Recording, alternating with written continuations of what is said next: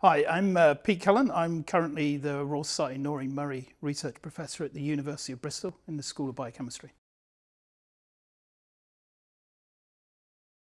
I was awarded a prize in, uh, or a Lister fellowship as it was back then in 1999. Um, I was already a lecturer at the University of Bristol in biochemistry, and the, uh, the fellowship allowed me to go back to the bench basically, so I could go back and I completely changed the direction of the research we were working on. So we were working on how um, small GTPases at the, at the cell surface were being regulated by proteins associating with the cytosolic leaflet of the plasma membrane. But then we decided with the Lister funding to change the direction and start to look at the molecular mechanisms by which integral membrane proteins get sorted through the endosomal system, which is present in all eukaryotic cells and it's really vital system for controlling a whole host of organelle function. And so we wanted to understand how that system was organized and functioned within mammalian systems.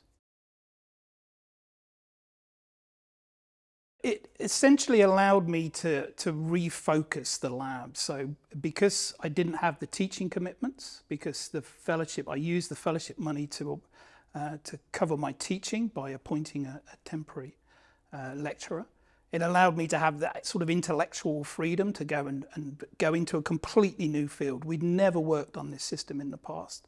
I went to loads of conferences and sat at the back and tried to understand what was going on and trying to re-educate myself essentially. Um, and without that five-year window of being able to do that, I would never have been in a position whereby I then got subsequent Wellcome program funding that then allowed me to build the lab and completely change the direction that the lab was going in over the subsequent years.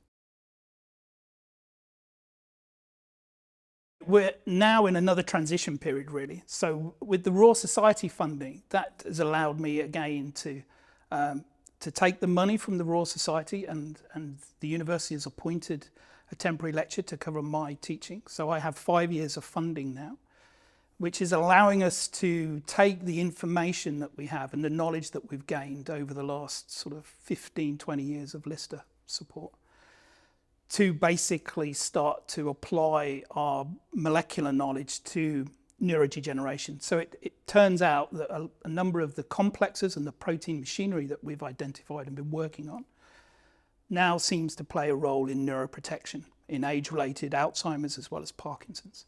So if we want to move our science away from our molecular understanding into more translational or begin to think about a translational route, we need to start thinking about Alzheimer's, Parkinson's and other neurodegenerative diseases.